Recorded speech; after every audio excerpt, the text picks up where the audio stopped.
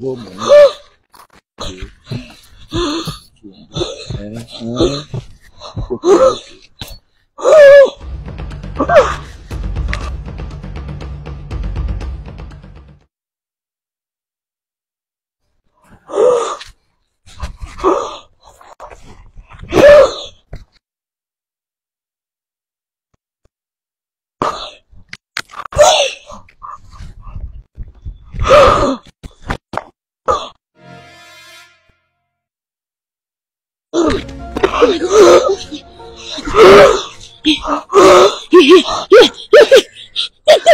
Don't worry. I'm fine.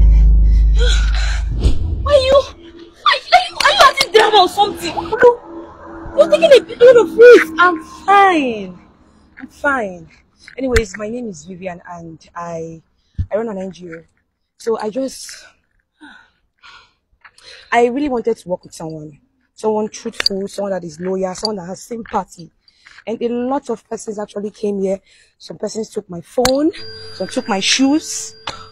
All I wanted was just to see how good people are. But you turned out to be the the the, the best of them. And you know what? What's your name? I am Joyce. Okay. I I really want to work with you. And um I'll give you a car and a furnished apartment.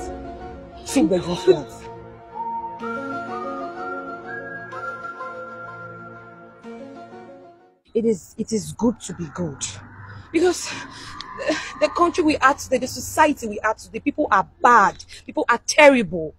I never thought for once that I could actually meet somebody that is good, somebody that is loyal, somebody that is truthful.